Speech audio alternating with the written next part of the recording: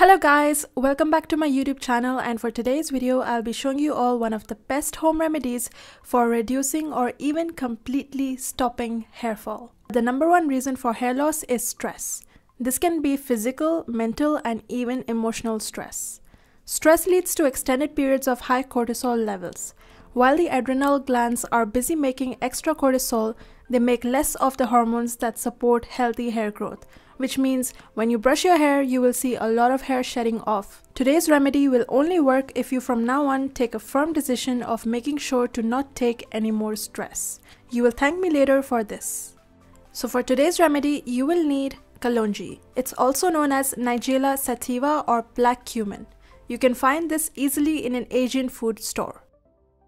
The second ingredient is castor oil. Make sure it's 100% pure castor oil. Mine is from Art Naturals. Next, you will need some store-bought aloe vera gel. You can also use the leaf of an aloe vera plant for this in case you don't have some store-bought aloe vera gel. For this home remedy, you will also need some vitamin E capsules and olive oil. To make this remedy, first you need to grind 3 to 4 tablespoons of kalonji into fine powder. Make sure it's completely grinded you don't want any black seeds stuck on your hair. The finer it is, the creamier the paste will be and the easier the application will be.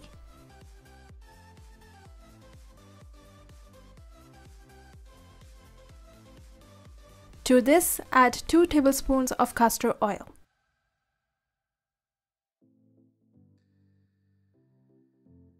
Then add 2 tablespoons of aloe vera gel. Next, carefully cut 3 vitamin E capsules and squeeze out the content of the capsule on the bowl. After that, add 1 tablespoon of olive oil. Make sure the olive oil is virgin and cold pressed. Mix the ingredients into a paste. If the paste seems too thick, you can add water to it. I added about 1 4th cup of water and then continued mixing.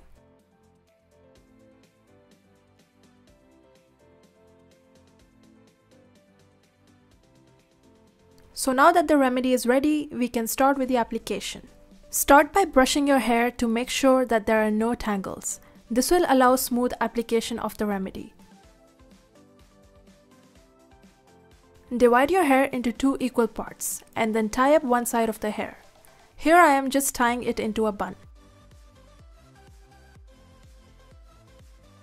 Then you can subdivide your hair and tie up the part you will work on later. Once you're ready for application, you can then wear some disposable gloves and start applying on the chosen scalp area. Over here, I'm just taking a stiff brush and applying the remedy to my scalp. This method will make sure that my scalp is completely saturated with the remedy. Try to go deep into your roots.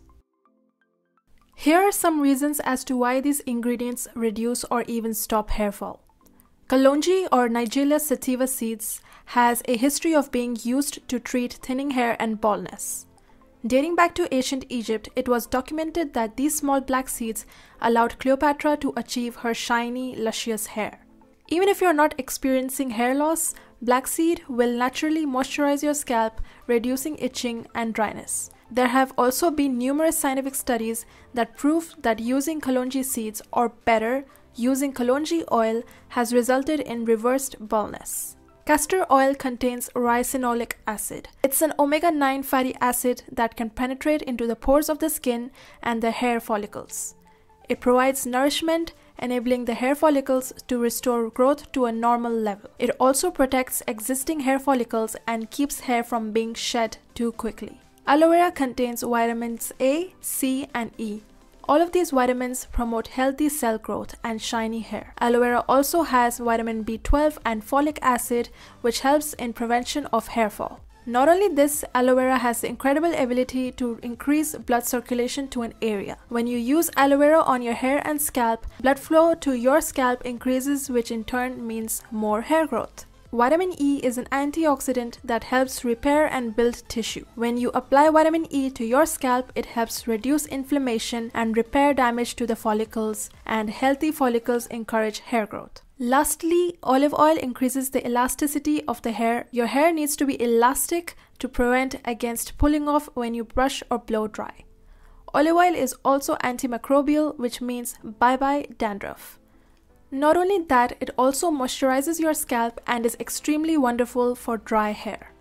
After you're done applying the entire remedy, you can tie up your hair and then cover your head with a plastic cover. You can then wash your hair after 30 minutes using your shampoo and conditioner. Okay guys, so this is my hair after it has naturally dried. Do this remedy 3 times a week if you want to see a result in 30 days. Also, if you try this remedy out, let me know in the comment section down below if this remedy was helpful for you. If you guys loved my video, please don't forget to like and subscribe to my channel. This is Kaur signing off.